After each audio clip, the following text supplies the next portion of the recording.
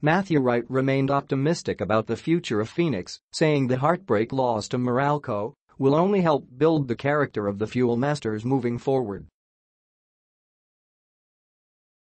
A dream campaign of the Fuel Masters in the Governor's Cup came to a premature end on Friday as the second-seeded and twice-to-beat squad lost to the seventh-ranked Bolts in overtime, 108-103.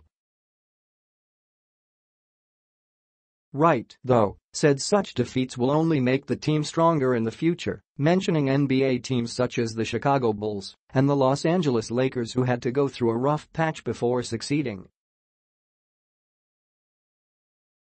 I was telling the guys in the locker room that these are the kind of losses that build character, said Wright. We are not going to let this loss unravel us. The Bulls and the Lakers, they were losing games.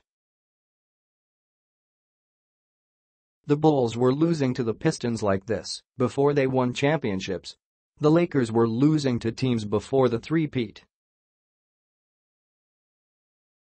We feel that we are in a position where we are going to be the better team in the next couple of years, Wright said.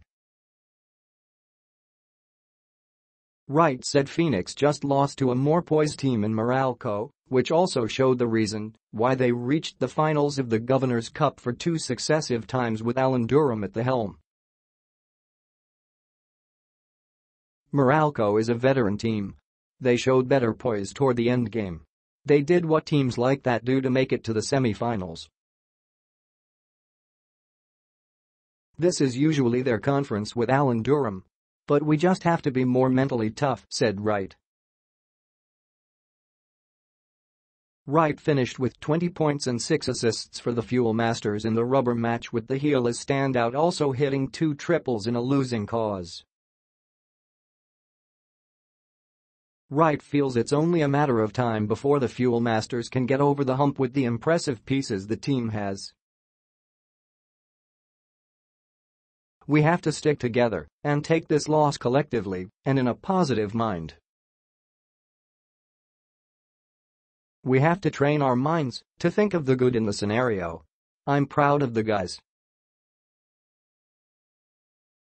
We fought hard we just came up short to a good team. With Jason Perkins, you have a glimpse of what Jason can do. With Calvin Abueva, we have a couple of draft picks in the first round, so we are trying to expand aggressively. We are not trying to be like those bottom dweller teams. We are aiming for the top. It's exciting and country should be excited that there is going to be another elite team in the next couple of conferences.